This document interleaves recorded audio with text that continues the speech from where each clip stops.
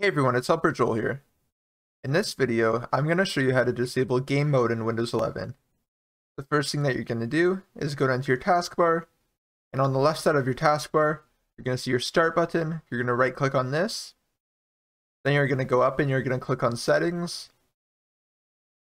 Once you're on the settings page here, you're going to go to the left, and you're going to go down to gaming, click on this gaming option.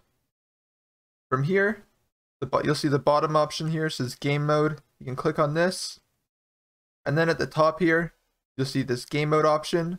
You can come to the right and check this off. After that, you can exit off of this and you should be good to go.